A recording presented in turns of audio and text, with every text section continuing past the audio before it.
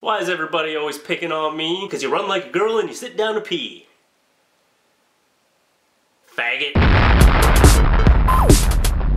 Hey, what's up?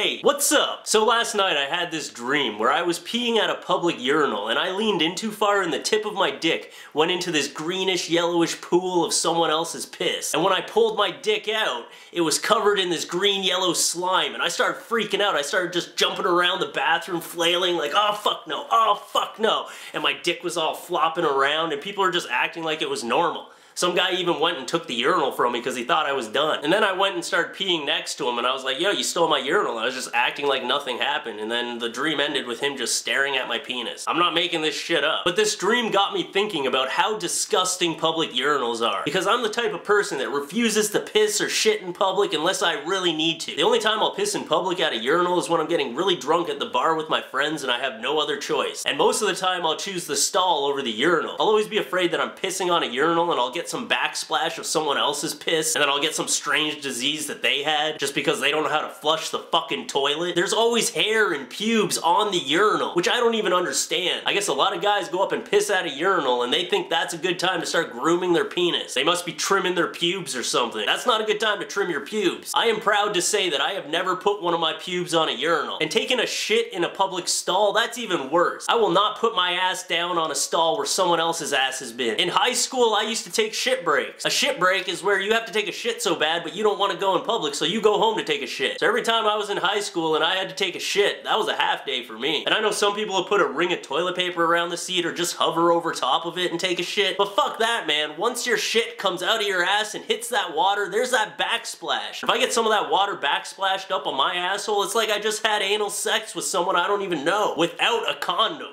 and I only have anal sex with condoms, okay? And I've never been in a girl's bathroom, but I always just imagine girls' bathrooms as being extremely clean. Butterflies flying around, nice soothing music in the background, every stall's got a TV on the door with Sex in the City playing, but apparently that's not true because my girlfriend told me a story about a public bathroom one time which was so fucking disgusting. She said she went to open the door and someone had tied their dirty tampon around the door handle. Like they set a dirty tampon trap. And then some girl came in and started sucking the juices out of it. But seriously, that's fucked up. You need to dispose of your tampons properly. No one wants to see that shit. There are some disgusting girls in this world. One of my friends one time pushed me into a urinal. My dick almost touched the fucking wall of the urinal. Long story short, I'm not that guy's friend anymore. I'm just saying that urinals are fucking dirty. If you got a strange disease and you don't know where it came from, say you got herpes and you're like, hey, where did I get herpes from? You probably pissed in a urinal. You're like, oh man, I have AIDS. Where did I get AIDS from? You took a shit in a fucking public stall. And I'm just gonna give you guys a little tip here. Here's my technique when I piss at a urinal, all right?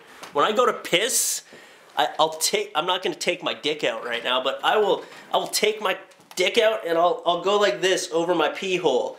And I will, I will block my penis and pee through my fingers just so all the backsplash will hit my hand. There's a technique. You can take that to the urinal. Take that shit and use it.